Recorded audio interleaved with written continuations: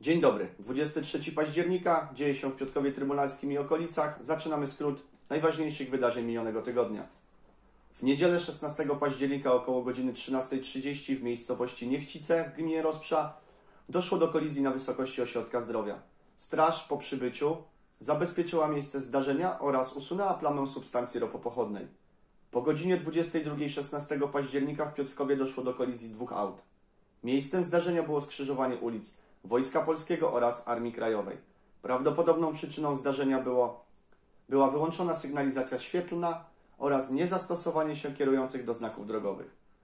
16 października to również Dzień Papieski. W 44. rocznicę wyboru Karola Wojtyły na głowę kościoła kwiaty pod pomnikiem przy ulicy Słowackiego złożyli wiceprezydent miasta Andrzej Kacperek oraz wiceprzewodnicząca Rady Miasta Wiesława Olejnik. Pontyfikat papieża Polaka był pod wieloma względami wyjątkowy. Pierwszy raz od 1522 roku na stolicę Piotrową wybrano papieża, który nie był Włochem. 18 października. Przeprowadzka stała się faktem. Do nowej siedziby przy ulicy Dąbrowskiego 12 przeniosły się trzy jednostki piotrkowskiego starostwa. Są to Wydział Komunikacji, Powiatowe Centrum Pomocy Rodzinie oraz Zarząd Dróg Powiatowych.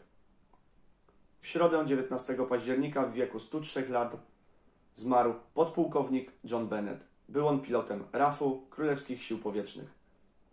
W czwartek 20 października wystartowały Trybunały Uśmiechu. Na początek odbyło się spotkanie z Ewą Ziętek. Trybunały trwały do soboty 22 października. Termomodernizacja szkoły podstawowej nr 12 stała się faktem. Szczegóły można znaleźć pod adresem www.piotrkow.pl w zakładce aktualności.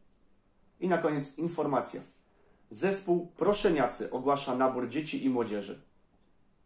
Zespół ten powstał w 2004 roku, aby kontynuować tradycję założycieli zespołu Mazowsze.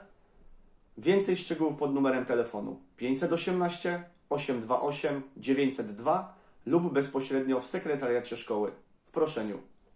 Na tym kończymy dzisiejszy przegląd najciekawszych wydarzeń minionego tygodnia. Dziękuję za uwagę i zapraszam na kolejne wydanie wiadomości już w najbliższą niedzielę.